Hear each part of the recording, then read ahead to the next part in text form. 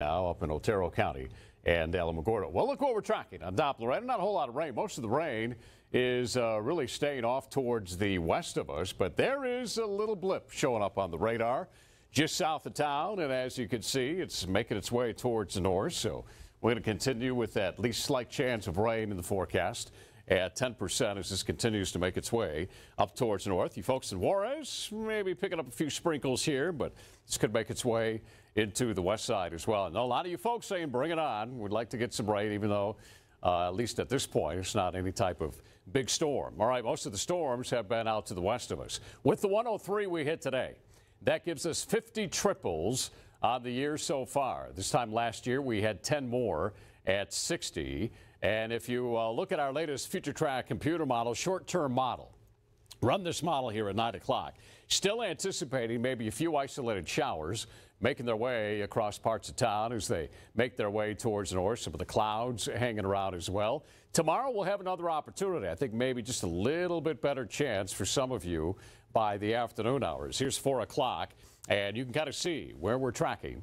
Some of these isolated showers and storms are going to continue to make their way up towards the north. All right, with the 50 triples we had today, uh, we now again have 50. We're in the fifth spot all time for the amount of triple digit temperatures. Of course, last year uh, we had 70. That was number one overall. And you folks in Las Cruces, you had a triple today, so 36.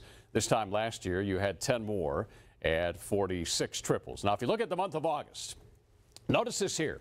Last year, we had 14 triples in the month of August. That was a lot. But with today's triple, with today's 103, that now gives us 15, one ahead of last year. And we're anticipating at least a couple more coming our way as we make our way through this week. Now, September last year, we had 10 triple digit days. Very hard to get a triple in the month of September. So we'll see how, how this September uh, makes it for us. All right, 78 degrees, the overnight low. There's that 10% chance of an isolated shower in here. Uh, tomorrow, 102, another hot day, another triple. That should be 51 triples.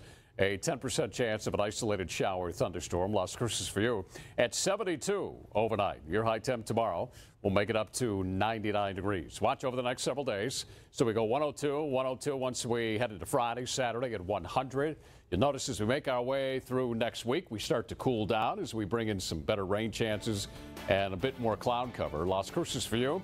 You're going to be right around 100 over the next several days. And then next week, you'll see those temperatures cool down as well. We'll take a break. Be back after this.